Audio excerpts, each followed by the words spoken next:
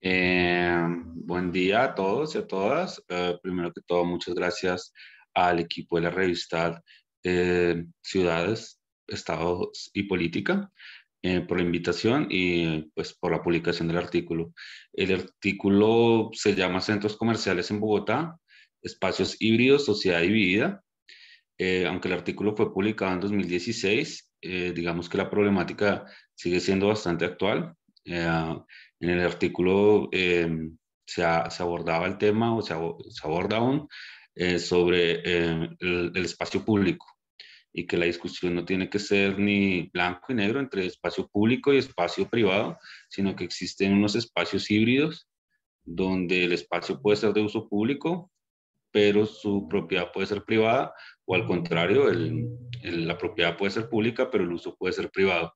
En ese sentido me enfoqué en, el, en los centros comerciales porque es una problemática que para el momento em, era, era, era, un fenómeno en, crecimiento, ahora aún más, en el cual se eh, evidenciaban las eh, desigualdades existentes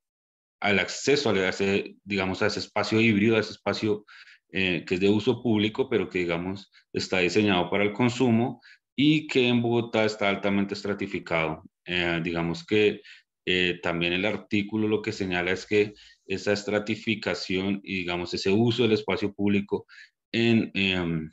en relación a, a, la compra, digamos, a las transacciones, eh, excluye también a una gran parte de la población que no tiene acceso a,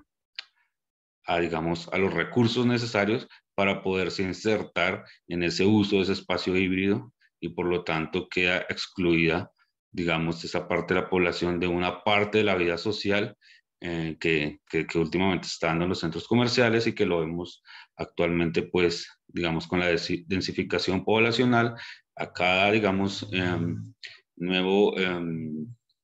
digamos, conjunto residencial que está siendo construido, los nuevos edificios, normalmente al lado tienen un centro comercial y este centro comercial, digamos que es el que agrupa la vida social de esas personas y debido a la, digamos, al tamaño de la ciudad, hace que la vida se centre solo en un centro comercial, lo cual también, digamos, em, em, vuelve estrecha la, eh, la, vida cultural, porque se, se, localiza a lo que nos puede ofrecer eh, esos, esos, eh, esas empresas privadas, pues para el disfrute del uso público. Entonces, pues nada, em, los invito a, a que puedan leer el artículo y espero que les pueda parecer interesante y útil. Muchas gracias.